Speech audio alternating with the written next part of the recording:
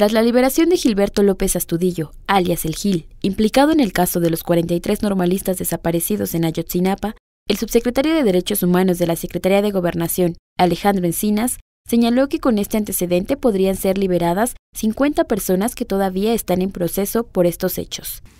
Este es un precedente muy grave, es una, es una sentencia absolutoria de uno de los principales perpetradores del delito de la desaparición forzada y lamentablemente no es el único caso, sino que además de que sentará precedente para que se puedan establecer sentencias absolutorias a los demás implicados, viene a fortalecer una tendencia que ya se había venido registrando con la libertad de otros detenidos en el caso de Ayotzinapa. Durante la conferencia mañanera, el subsecretario exhortó a la Fiscalía General de la República a que reencauce la investigación del caso Ayotzinapa, subsane las omisiones y permita una investigación diligente. Y queremos anunciar que por instrucciones del presidente de la República iniciaremos ante la Fiscalía General de la República y el Consejo de la Judicatura Federal los recursos legales correspondientes para que se inicie la investigación de los funcionarios de la Fiscalía General de la República y de los jueces en el caso del Poder Judicial Federal para deslindar las responsabilidades en estos casos, donde en lugar de garantizar el derecho a la verdad y la justicia de las víctimas, se está generando un pacto que favorecerá el silencio, favorecerá el silencio y la impunidad. Advirtió que han sido liberados 53 de los 142 detenidos implicados en la desaparición de los 43 estudiantes normalistas.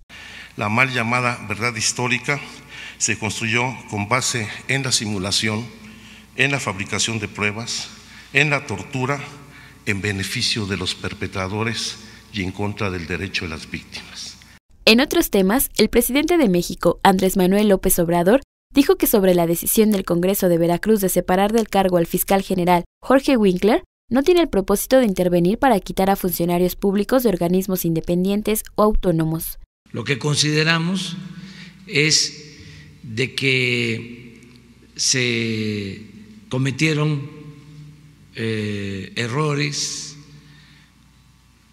en el pasado porque se nombraron fiscales tanto para la impartición de justicia como para el combate a la corrupción eh, a modo, es decir, fiscales propuestos por los gobernadores para eh, que les garantizaran impunidad. Y eso está eh, perjudicando mucho. Celebró la solución de la controversia en la Cámara de Diputados por la presidencia de la mesa directiva con la dimisión voluntaria de Porfirio Muñoz Ledo como presidente de ese órgano legislativo. Nosotros no tenemos por qué eh, intervenir. Sin embargo, yo creo que la transformación de México eh, pasa por eh, el estricto apego a la legalidad.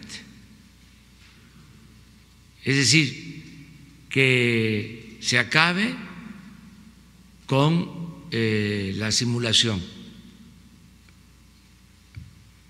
Esa máxima que viene desde la época de Porfirio Díaz, de que la ley se respeta en la forma para violarse en el fondo. Y este nadie puede estar por encima de la ley. Finalmente, el presidente vio con buenos ojos el planteamiento de reducir el número de legisladores plurinominales y consideró necesario acabar con los excesos en la vida pública del país.